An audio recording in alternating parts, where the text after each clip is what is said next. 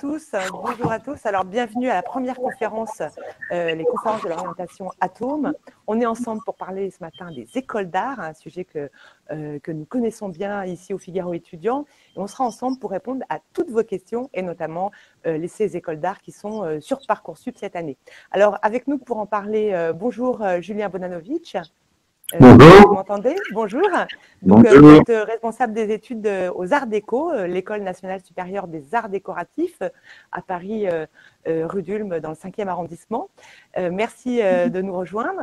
Et puis Vincent Villard, qui est, que je vois aussi ici, merci, qui est un grand spécialiste des écoles d'art et qui, va, qui aura aussi une vision globale de toutes ces écoles. Merci de nous rejoindre.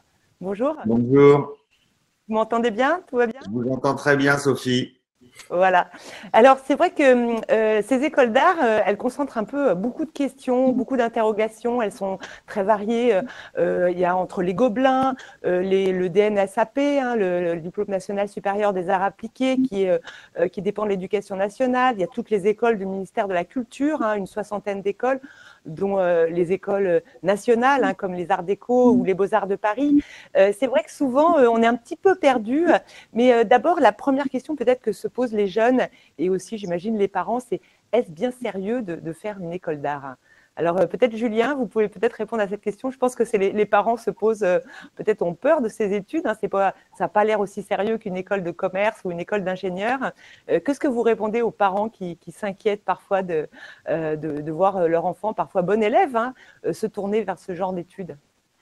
Alors forcément, il y a des, inquiétudes sur les, les, types de débouchés et puis, je sais pas, on va dire l'imaginaire collectif de ce à quoi ça peut mener. Il y a plein d'écoles différentes. par exemple, aux Arts Déco, en fait, si on sépare les différentes spécialités, il y a deux grandes, deux, grands paquets, on va dire. D'un côté, les, formations plutôt de design et puis celles plutôt artistiques. Alors, du coup, tout l'imaginaire va se concentrer autour de l'artistique en disant on va devenir peintre, euh, etc.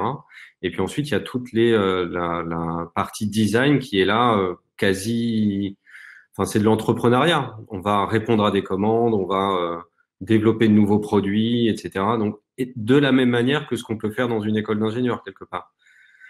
Donc sur les débouchés, en tout cas, nous, quand on fait toutes les euh, statistiques à la sortie de l'école, ça se passe plutôt bien pour nos étudiants. Alors forcément, quand on a une vocation pour, de, pour des filières artistiques, ben, on entre dans un monde qui est un petit peu plus compliqué que d'autres, qui est moins évident, etc. Mais en tout cas, on s'en sort aussi très bien. Mais c'est aussi un choix d'orientation. Quelque part, moi, je me, je me, suis toujours dit que euh, quand on rentre dans une école d'art, c'est pas tant la motivation qui prime que quelque part la vocation. C'est-à-dire qu'on se sent à faire ça, on a envie de s'exprimer de cette façon-là.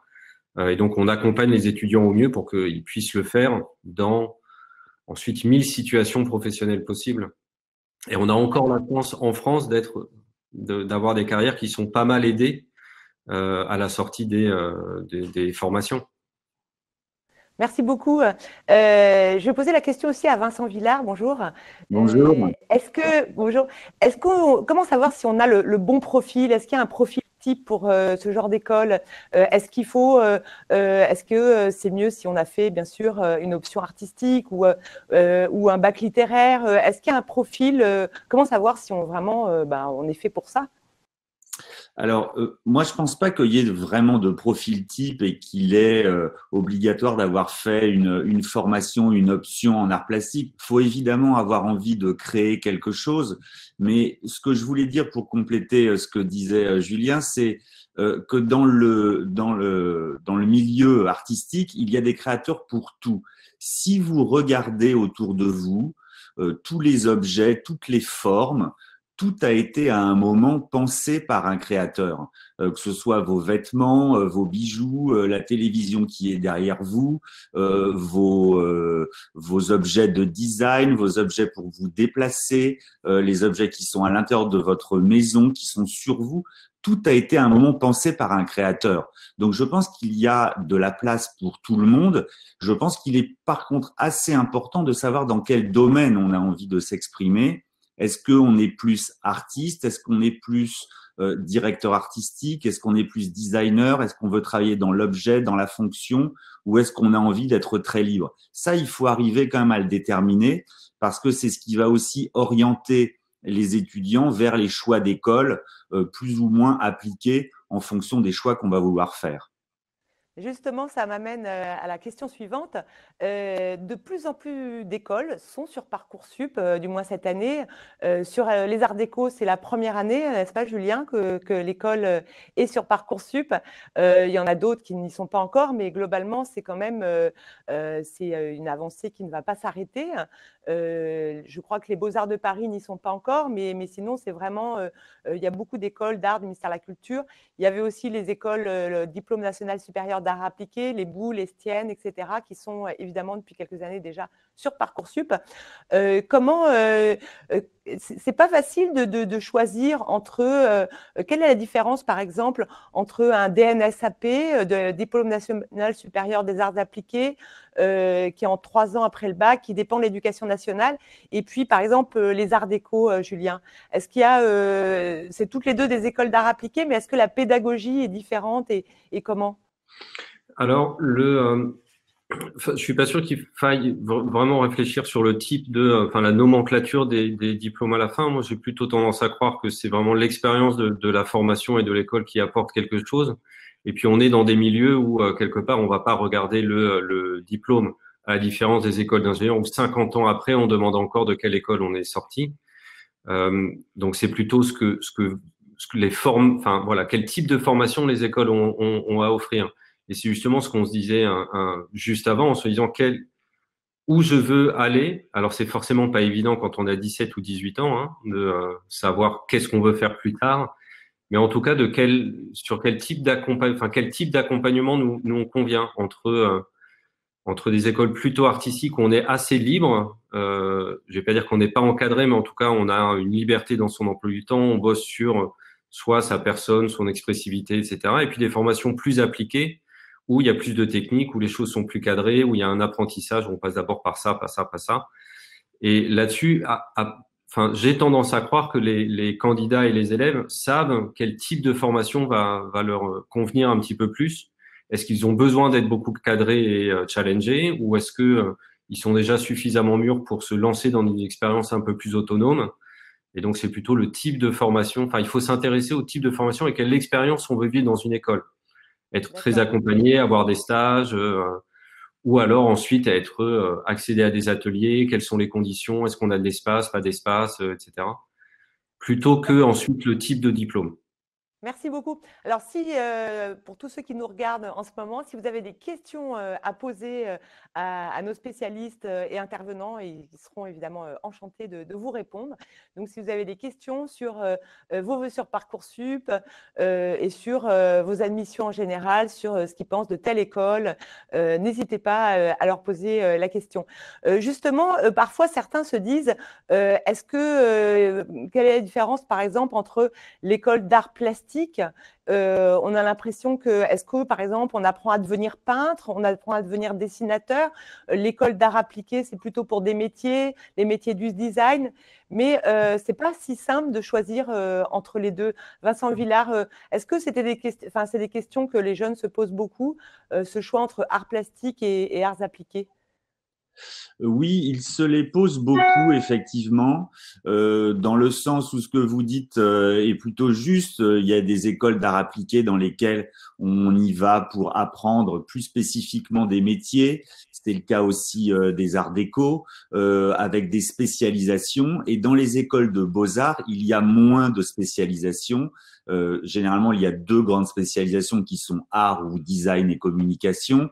Euh, mais il faut savoir quand même que les étudiants sont maintenant de plus en plus euh, pluridisciplinaires et que ce n'est pas parce qu'un étudiant va effectuer ses études aux arts déco, par exemple, dans une section graphisme, qu'il va obligatoirement ne faire que du graphisme quand il va sortir des arts déco et être catalogué, catégorisé graphiste. Il va justement aussi avoir un enseignement plus ouvert, plus large. Et c'est le cas aussi des écoles de beaux-arts, qui ne sont pas des écoles contrairement à l'idée reçue où on va euh, uniquement euh, faire de la peinture, euh, se rouler dans la peinture et boire de la bière. Tout ça n'est pas vrai. C'est en partie vrai de toutes les écoles du monde, mais pas spécifiquement des beaux-arts de Paris ou des autres écoles de beaux-arts.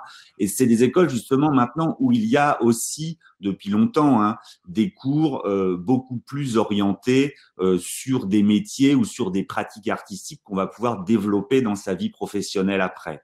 Euh, moi, je pense que les écoles maintenant sont, même si elles ont des spécificités, sont, euh, on va dire, euh, se lissent sur l'enseignement général euh, de manière à apporter un maximum de bagages aux étudiants pour qu'ils en sortent euh, armés pour être professionnels. Merci beaucoup. Pas être dans un cliché. Euh, Jules, oui, c'est pas les clichés. Puis on, boit aussi beaucoup de bière dans les écoles d'ingénieurs ou de commerce. je vous rassure. Euh, Julien, euh, une question qui se pose beaucoup, c'est quelle est la meilleure, comment se préparer au concours des arts déco et au concours des écoles de beaux arts en général? le vôtre est évidemment très réputé. on parle d'un taux d'admission, dites-moi si je me trompe, de 5%, donc 5% d'admis chaque année, avec une sélection extrêmement sévère. Hein, beaucoup de candidats peu de peu de peu d'heureux élus. Euh, qu'est-ce que vous pouvez conseiller aux jeunes qui rêvent de rentrer euh, dans votre école, à l'école nationale supérieure des arts décoratifs ou dans une école du, même euh, du même prestige et qui veut qui aimerait se ben, qui aimerait se préparer au mieux Qu'est-ce que vous leur conseillez? Alors, donc, en fait, on est, on est même pire que, que 5%. Enfin, cette année, dans l'entrée le, dans, dans Parcoursup, on a eu 3000 candidats pour 75 admis. Donc, la porte est très, est très, très étroite. On est les premiers, euh, euh, enfin, choqués. C'est dur pour nous que d'avoir un tel taux de sélection. Enfin, on voudrait bien accueillir plus, mais c'est, euh, mais c'est pas possible. Ensuite, sur la façon de s'y préparer, de manière générale, en fait, toutes les, euh, toutes les écoles d'art vont recruter par euh, concours quelque chose qui relève du concours. On dépose un dossier, on a des entretiens, etc. Et quelque part là-dessus, il y a des, euh, c'est peut-être pas des codes, mais en tout cas des choses sur lesquelles il faut veiller. Alors déjà, forcément, il faut avoir une, une pratique artistique euh, de, depuis un moment. Enfin voilà, on le fait pas par hasard, donc il faut déjà prouver ça par rapport à tous les autres. Euh, et là, tout est, tout est bon à prendre. Tous les carnets de croquis qu'on a pu faire, tous les dessins, les peintures, les expérimentations. Et la première chose que les, étudiants arrivés, enfin les candidats arrivés au moment du concours se rendent compte, c'est qu'ils ont la plupart du temps pas pensé à documenter ce qu'ils ont fait par le passé. C'est-à-dire qu'ils ont fait plein de projets, que ce soit dans le cadre de leur option d'art plastique ou euh, dans leur vie, et puis ils n'ont pas vraiment gardé trace de ce qu'ils ont fait. Or, ça c'est important. Donc le premier conseil, c'est de bien documenter, de garder des archives de tout ce qu'on a pu faire, même C'est-à-dire en gros. Euh, euh, faire euh, concrètement, euh, c'est-à-dire faire un carnet de croquis Faire des carnets de croquis, prendre, prendre des photos de ce qu'on était en train de faire, de ce qu'on a essayé, même si c'est raté, parce qu'on n'est pas là pour sélectionner des gens qui ont déjà, qui ont déjà tout fait. on est au courant que, enfin voilà, on recrute des gens qui ont 17 ou 18 ans, donc ils ont le niveau de maturité qu'ils ont. Et ce qui nous intéresse plutôt, c'est justement d'arriver à, au moment des entretiens par exemple, à avoir une vraie discussion sur leur projet et donc d'arriver avec un projet qui n'est pas achevé, où on a essayé des choses, où ça n'a pas marché, etc. Et eh ben du coup, enfin, je vais pas dire que c'est apprécié, mais en tout cas, c'est une façon de pouvoir nouer la discussion, d'expliquer les choses, de euh, raconter le processus de création qu'on a voulu développer, etc. Donc il faut vraiment garder des traces de tout ce qu'on a, de tout ce qu'on a fait, et pas spécialement de montrer que les choses qui sont euh, parfaites, euh, déjà toutes propres, euh, etc. Donc la première chose, c'est de bien garder les, archives de, tous les travaux qu'on a pu faire, de pas, enfin voilà, de pas avoir de grille en se disant ça c'est bien, ça c'est pas bien. Tout est. Il faut pas, oui, euh, il faut pas se mentir. Il y a beaucoup d'élèves qui, euh, qui s'engouffrent dans des dans des prépas euh, pour se préparer à ces concours. Hein, euh, euh, donc, atelier de Sèvres, etc., mmh. Prépart, Penningen, même, enfin, beaucoup d'écoles même ont des premières années de prépa. Est-ce que c'est. Il y a aussi des prépas publics, hein, bien sûr. Je pense à la prépa du lycée Pablo Picasso, à Glacière. Enfin, je les cite un peu dans, en vrac. Mais qu'est-ce que vous pensez que c'est une bonne chose? Enfin, c'est toujours mieux que rien? Bah, disons que le, euh, alors pour, pour toutes les prépas privées, il faut avoir les moyens de le faire. Hein. donc déjà, c'est, euh, c'est, ça peut être compliqué. Ensuite, moi, j'ai toujours tendance à croire qu'il y a une question de maturité aussi. C'est-à-dire que quand on sort du lycée, est-ce que c'est le bon moment que de, de commencer tout de suite des, euh, des études supérieures en art? Euh, Donc une prépa peut être une bonne chose pour prendre un an et et se poser les bonnes questions et développer ces, ces différentes pratiques qu'on n'a pas forcément pu faire au lycée parce que du coup, avec la réforme du lycée aussi, suivant l'endroit où on est, on n'a pas forcément accès à une option art plastique. Donc, le, enfin voilà, une prépa peut aussi être une façon de se, enfin voilà, d'attendre un an pour pour mûrir.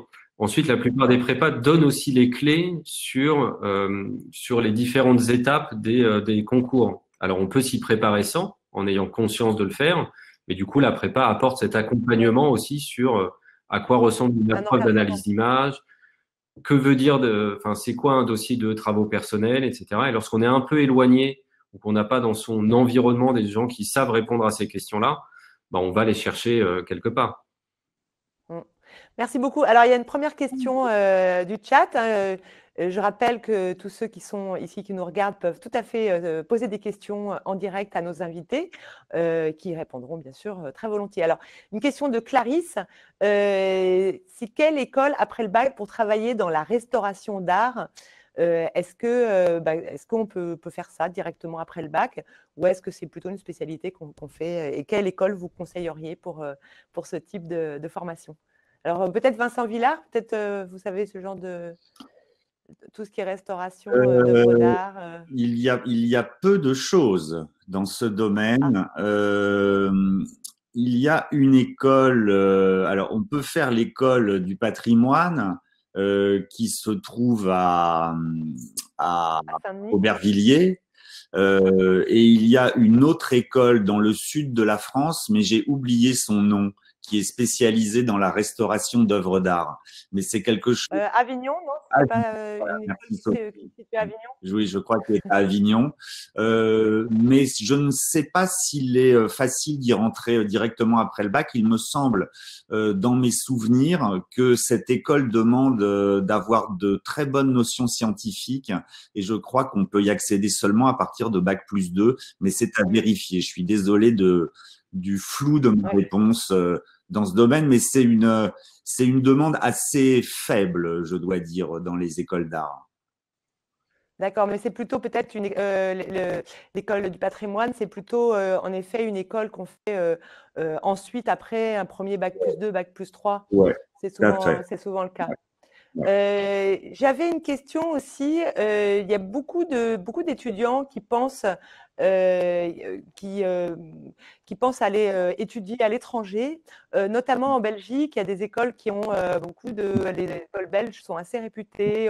Je pense à Saint-Luc, je pense à, à tous les conservatoires belges, à la Cambre. en quoi, pourquoi cet attrait pour la Belgique et qu'est-ce qu'est-ce qu'ils font qu'on qu'on n'y fait pas Enfin, c'est quoi euh, Est-ce que peut-être Vincent Villard, euh, vous aviez eu cette expérience d'avoir beaucoup de vous pré... ouais. Je sais pas si vous avez ouais, aussi des femmes qui vont dans ce type d'école, qui s'y recherchent en fait. Et... Euh oui, il y a eu beaucoup d'étudiants qui, qui allaient en Belgique. Alors, il y a plusieurs raisons à ça. Euh, il y a une raison toute bête qui est euh, le niveau de vie en Belgique, euh, qui est euh, moins important que celui en France et en particulier qu'à Paris. Les étudiants peuvent facilement avoir de grands appartements et de grands ateliers pour très peu cher, ce qui est important quand on est étudiant, il faut pas le nier. Euh, il y a une deuxième spécificité, euh, qui est que le concours euh, de, pour ces écoles est décalé. Il y a un calendrier décalé par rapport à celui de la France. C'est-à-dire qu'une fois que tous les concours sont finis en France, en gros au mois de juin, les concours pour les écoles belges vont démarrer eux fin août, début septembre. Donc pour des ah. étudiants qui auraient échoué par exemple aux arts déco ou aux beaux-arts ou dans des écoles où effectivement il y a peu de place, ça leur donne une chance supplémentaire de euh, d'intégrer une école supérieure d'art. Et il y a une autre particularité qui est que les écoles en Belgique euh, permettent de rentrer directement après le bac dans des écoles publiques avec des spécialisations, ce qui est le cas à la Cambre ou à Saint-Luc, où on peut directement se spécialiser tout de suite après le bac en passant le concours dans la section peinture, dans la section la section gravure avec des ateliers très spécifiques. Donc c'est quelque chose qui, qui ne se fait pas beaucoup en France et que les étudiants peuvent retrouver en particulier en Belgique. D'accord, merci. Vous voulez ajouter quelque chose, Julien, euh, Julien Bonanovic Je sais aux Arts Déco, euh, euh, vous avez des liens avec ces écoles qui sont, c'est vrai, assez attractifs pour les, bah, étudiants. Du coup, on, le fait dans les deux sens. C'est-à-dire qu'on a des étudiants qui ont eu un début, un début de, parcours dans des écoles étrangères. Alors, ça peut être en Belgique comme ça peut, ça peut être ailleurs, et qui ensuite intègrent l'école un peu plus tard dans le cursus. Donc, ils font une première partie de, formation à l'étranger, et puis ensuite, ils viennent finir leur, leur formation aux, aux Arts Déco. Et puis dans l'autre sens aussi, au cours de la scolarité, on envoie quasiment tous nos étudiants pour six mois ou un an à l'étranger. Et une partie d'entre eux vont euh, en Belgique euh, ou aux Pays-Bas ou euh, un peu partout en fait. Et du coup, ce qu'ils vont y chercher, c'est effectivement une formation et un encadrement différent de ce qu'ils ont pu vivre à l'école. D'accord. Merci beaucoup. Euh, il y a une question de, Inès euh, autour du book. C'est vrai que c'est un, mot qui revient euh, souvent dans la bouche des, directeurs d'école. il faut un book, vous allez présenter un book. Là, c'est le book pour une école de mode. Je sais que les Arts Déco ont, parmi leurs dix spécialités une section mode. Est-ce qu'il faut avoir un book pour s'inscrire dans une école de mode Et peut-être parler un peu du book? Qu'est-ce que c'est qu'un book finalement? Alors du coup, dans tous les recrutements pour toutes les euh, pour toutes les écoles, il faut quelque part montrer ses travaux. Euh, donc ça prend différentes formes. Hein. Ça peut s'appeler planche, ça peut s'appeler euh, portfolio, ça peut s'appeler book, etc. Enfin, grosso modo, c'est de montrer ce qu'on a fait par le passé. Et ça, c'est le, le, cas dans toutes les écoles. Ensuite, qu'est-ce que ça veut dire en réalité? Donc, suivant les différents concours, il y a des, euh, on va dire, des restrictions. Alors cette année, c'était tout particulier avec le, confinement. Hein. Euh, D'habitude, on avait euh, dans beaucoup d'écoles, c'était des, on venait déposer ses productions en papier. Donc cette année, ça a eu lieu quasiment nulle part. Donc il a fallu que tout le monde prévoie des, fichiers numériques. Donc on prenait des photos de ces productions, faisait des, des agencements, rajoutait des légendes, etc. Donc, je pense qu'il y a eu beaucoup d'apprentissage éclair des euh, outils numériques euh, au moment de, de, déposer tous ces, euh, ces documents-là. Il y a pas mal de, de, suivant les concours, des restrictions sur le nombre d'éléments qu'on peut montrer. Donc, des fois, c'est merci de donner que 20 feuilles, d'autres fois 8, d'autres fois, etc. Donc, ça, il faut bien les respecter dans les différents concours. Ensuite, qu'est-ce qu'il faut mettre dedans? Là, ça va aussi dépendre des différentes écoles et des, des profils. Dans les écoles où on rentre, où les, la première année, comme le, comme c'est le cas chez nous, est euh, assez généraliste. On va être intéressé par un petit peu toutes les pratiques. Donc, on ait fait de la peinture, qu'on essaie de faire des choses en volume, qu'on ait fait du dessin, etc. On est euh, le mieux est de montrer l'éventail de tout ce qu'on a pu faire. Et ensuite, dans les écoles spécialisées, où on candidate pour un secteur, en, enfin une spécialité en, particulier, bah, il faut essayer de montrer ce qui euh, illustre sa motivation et ses, ses compétences sur le, le, domaine en particulier. Euh, là aussi, le plus, important, mais c'est peut-être aussi le plus dur, c'est de, se renseigner suffisamment sur ce que les, euh, les formations offrent pour essayer d'en déduire en creux ce qu'il faut montrer avoir déjà. Par exemple, quand on va rentrer dans une école de, de mode, est-ce que la formation va offrir tout un apprentissage de, j'essaie de, le faire rapide et clair, de la couture, par exemple, en le faisant de manière basique si c'est le cas, ça veut dire qu'on n'attend pas à l'entrée que les étudiants sachent déjà, coudre, pas besoin de montrer des choses que. Si par contre, dans la formation, on voit qu'il n'y a pas tout ça, ça veut dire qu'on attend des candidats qu'ils le sachent déjà. Et donc voilà, essayer de se renseigner suffisamment sur la façon dont les formations s'organisent pour savoir quels vont être les prérequis quelque part, et donc qu'est-ce qu'il faut montrer dans les boucles qu'on dépose. Merci beaucoup. Alors, une autre question, euh, c'est de savoir euh, si on a, été refusé euh, sur beaucoup d'écoles dans Parcoursup, si on n'a pas eu ce qu'on voulait. il faudra sans doute, en tout cas, si on, peut, si on en a les moyens, se tourner vers une école privée. Il y en a beaucoup en école d'art, elles sont extrêmement nombreuses, parfois certaines sont même très célèbres. Comment choisir une école privée et de pas, en gros, se faire arnaquer parce que évidemment elles, sont, elles sont très fortes pour montrer leur, leur vertu, mais comment est-ce qu'il y a des, critères? Alors peut-être Vincent Villard, vous pouvez peut-être nous éclairer là-dessus. Comment choisir bah, une école privée Selon quels critères la choisir? Alors, euh, je pense que pour choisir une école privée, il faut absolument savoir quel type d'études artistiques on veut faire. Euh, le, le, le, réel problème des écoles privées telles qu'elles existent actuellement, c'est qu'elles ne forment que à certaines spécialités. Et quand on est dans une école privée qui va faire de la mode, par exemple, on ne pourra y faire que de la mode. Et si au bout d'un an ou deux, on s'aperçoit que cette école ne nous convient pas, ça va être très difficile d'en changer puisque la plupart de ces écoles n'ont pas d'équivalence euh, pour le public, par exemple, donc on ne pourra pas passer dans une école publique et on pourra difficilement changer d'école, soit euh, quitte à refaire complètement une scolarité. Donc c'est vrai que c'est compliqué et il faut absolument savoir ce que l'on veut faire. Il n'y a pas encore euh, d'école pluridisciplinaire et généraliste artistique privée en France. Il y en aura bientôt une euh, d'ici une année, mais ça n'existe pas pour le moment et c'est compliqué. Donc, je demande vraiment à tous les étudiants de bien savoir ce qu'ils veulent faire. Mais j'ajoute quand même qu'il y a quelque chose d'intéressant.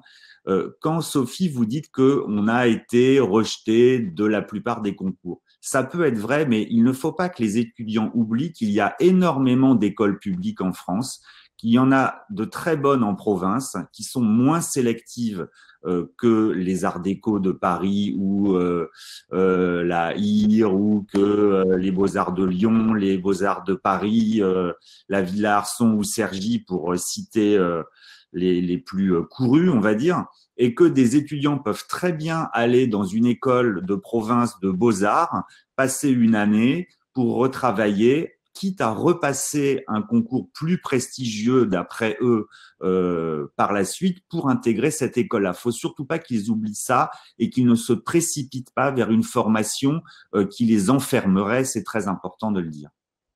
Oui, alors il y avait une petite question euh, d'une auditrice euh, qui euh, aimerait savoir, alors c'est vrai que c'est une, question à laquelle je ne m'attendais pas du tout, s'il existe des écoles d'art où on fait aussi de la danse, enfin des espèces d'écoles d'art globales, ben, vous en parliez un petit peu Vincent Villard, des écoles d'art où on ferait tous les arts finalement. Est-ce que ça existe? Peut-être Julien Bonanovic Alors sur les...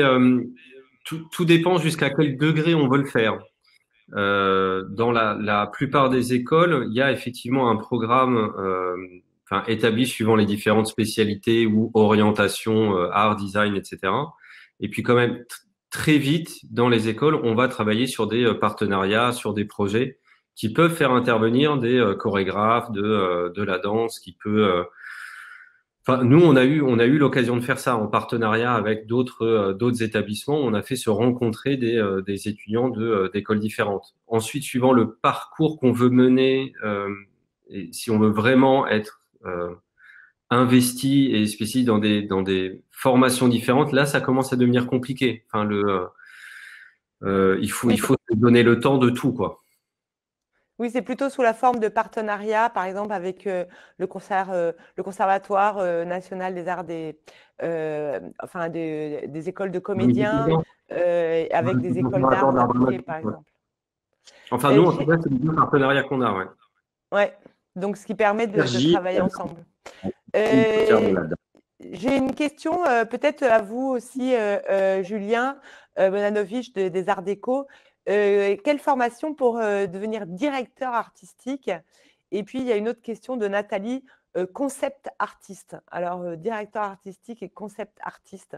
Est-ce qu'on peut répondre à cette question plutôt assez pointue finalement?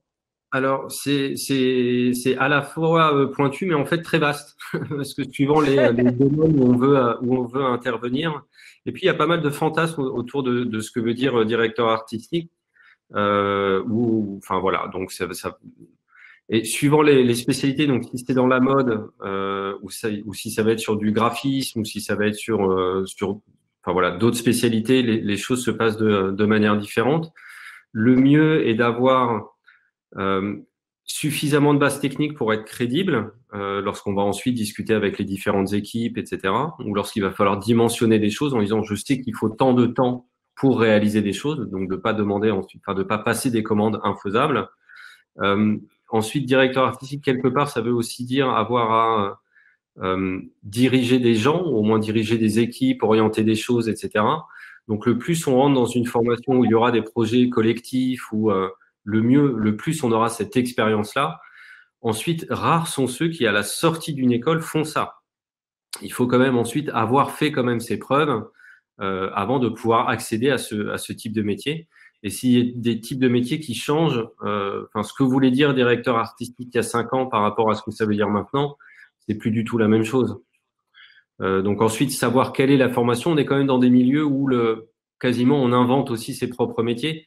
Enfin, comme, comme le disait Vincent avant, entre là, la spécialité qu'on a et ce qu'on fait à la sortie d'une école, euh, les choses changent. Enfin, moi, j'ai constamment des anciens qui étaient diplômés de graphisme ou qui étaient diplômés de euh, scénographie et qui, à la sortie de l'école, vont faire quelque chose de, de, totalement différent parce que rencontre, parce que opportunité, parce qu'au cours de leur scolarité, ils ont mené des projets euh, avec d'autres et ils se sont rendus compte qu'il fallait faire autre chose.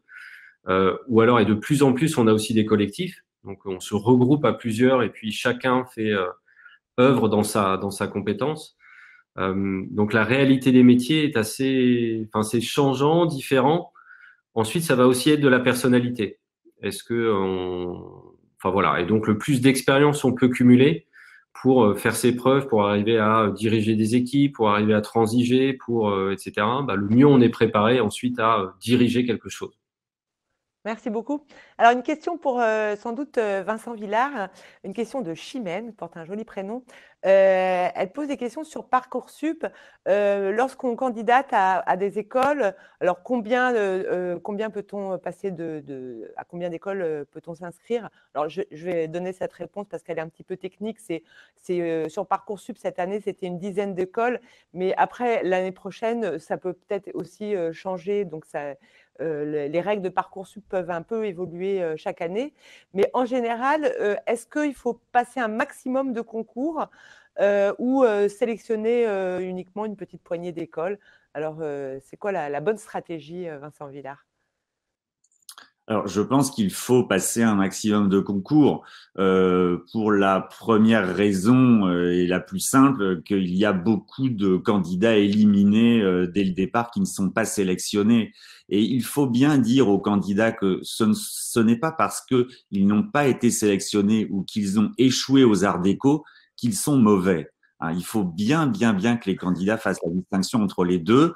Julien l'a dit, 3000 candidats, 75 places. Il n'y avait pas que 75 potentiels étudiants géniaux euh, capables de faire les arts déco. Il y en avait certainement beaucoup plus, mais ils n'ont pas la place de les accueillir.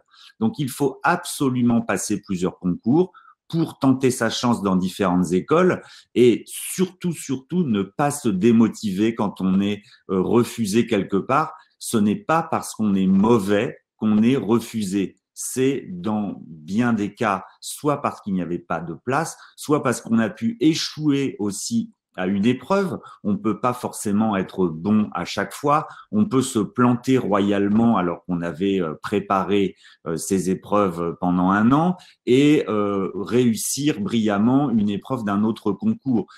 C'est, ce sont des épreuves où il y a de l'humain, où on est face à des jurys, où on répond parfois à des sujets qui sont des sujets très ouverts, où le type de réponse n'est pas très très euh, dirigé où on a beaucoup beaucoup d'options euh, possibles. Donc il faut passer un maximum de concours. Après, il faut pas non plus passer des écoles dans lesquelles on n'a pas du tout envie d'aller parce que sinon c'est bien débile. Mais il faut passer des écoles qu'on connaît. Euh, il faut que les étudiants se renseignent sur les écoles, ça c'est indispensable. S'ils peuvent pas aller aux journées portes ouvertes, faut qu'ils aillent sur les sites des écoles, qu'ils essayent de contacter des anciens étudiants pour savoir ce qu'on y fait en vrai dans ces écoles et pas uniquement euh, l'image qu'on pourrait en avoir. Ça, c'est hyper important euh, parce que les écoles, après, on va y vivre des années, il faut qu'on s'y sente bien. Et les études artistiques, c'est quand même des, des, études dans lesquelles on se fait plaisir. On ne on fait pas des études d'art euh, pour s'ennuyer toute la journée. Donc, il faut, oui, en placer beaucoup. Merci beaucoup. Une dernière question, et puis la conférence va se terminer, mais on c'est une question à laquelle j'avais, que j'avais posée au tout début de la conférence, mais qui revient. Et je pense que c'est important, euh, peut-être Julien, d'y répondre parce que c'est, une question euh, essentielle. Euh, alors, c'est une question de Chloé. Et je me demandais quelle était la différence entre une formation aux beaux-arts, aux arts déco, et une formation en DMADE, puis DSAA. Donc, c'est la formation qui est proposée à l'école Boulle, à l'école Estienne, à Olivier de Serre, hein. un DM MADE en trois ans et puis un DSAA en deux ans, euh, bac plus 5. Et euh, en parallèle, ben, il y a les beaux-arts, les arts déco, des formations en cinq ans, mais euh, sous tutelle du ministère de la Culture. Et c'est vrai que les jeunes se posent la question, fondamentalement, quelle est la différence? Alors, je pense que la, plus grosse différence, ça va être le, rythme de la, scolarité et l'autonomie dans laquelle on peut, travailler, compte tenu des, objectifs à la sortie euh, donc dans les formations qui sont plus techniques ou d'art appliqué dans un domaine en, euh, particulier, on va vraiment accompagner les étudiants euh, pour les rendre les plus experts possibles, à la fois euh, techniquement et ensuite conceptuellement sur leur, leur spécialité. Donc dans toutes les, euh, les, les, écoles techniques, enfin voilà, il y a un apprentissage, il y a des exercices, il y a Enfin, Est-ce que la pédagogie diffère entre, par exemple, les arts déco et l'école estienne, par exemple? Ah bah assez, oui. Enfin, les, les, nous quelque part, on est, on va être, alors plus ouvert. Il faut pas le prendre de manière péjorative de l'autre côté. C'est-à-dire que, euh, enfin, on, on, donne une moins grande prise à la technique. Elle est importante, mais c'est pas forcément ce sur quoi on va le plus insister dans le dans le parcours. Et on va plutôt essayer d'accompagner les étudiants sur différents projets, de les mettre face à des euh, questions totalement ouvertes pour que euh, ils sortent des choses et qu'ils aillent ensuite se former dans les différents ateliers. Ça, c'est la richesse que nous, on a, d'avoir toutes les spécialités au même endroit, euh, dans le même bâtiment, avec tous les ateliers techniques, et on peut naviguer entre toutes les différentes spécialités. Donc, si pour un projet, on peut être en scénographie, et dans un projet, se dire qu'il faudrait avoir recours à du textile, eh ben, du coup, on peut aller se former un petit peu sur les techniques de textile et utiliser ces spécialités-là. Donc le, euh, la différence va plutôt être dans le, enfin voilà, est-ce qu'il faut être très expert dans un domaine particulier ou est-ce que on, enfin voilà, on veut être un petit peu plus ouvert sur des euh, sur des choses différentes? D'accord. On dit souvent aussi que dans les écoles type Beaux-Arts, on est, on est moins encadré, évidemment, que euh, dans un ADN SAP, à l'école Boulle ou à l'école Estienne. C'est souvent d'anciens lycées. On, est un peu plus voilà, c'est aussi ça qu'on se dit, euh, j'imagine. Ah bah le c'est le cas, mais du coup la, la, sélection se fait aussi là-dessus, c'est-à-dire que dans les euh, dans les écoles où on est en, formation de manière un peu plus autonome, on, on, cherche aussi les étudiants qui sont faits pour ça, euh, qui vont chercher des formations où euh, enfin voilà ils ont moins besoin d'être d'être encadrés, mais parce que voilà il y a moins de prise technique, donc il y a moins de, de rythme un petit peu scolaire, et puis on est on se développe un petit peu plus par soi-même, mais on est quand même confronté à des gens. Hein. Donc il y a quand même des suivis, il y a quand même des discussions, etc. On n'est pas juste lâché dans, dans quatre dans la nature. Merci beaucoup. Euh, cette conférence se termine. Merci à cette première conférence euh, euh at home avec le Figaro étudiant. Je vous remercie. Euh, merci Julien, merci Vincent Villard, merci Julien Bonanovic des Arts Déco. vous avez répondu à, à, toutes ces questions avec beaucoup de précision. Merci à tous et bonne semaine. toutes ces conférences se poursuivent toute la semaine avec les journalistes du Figaro étudiant. merci. merci.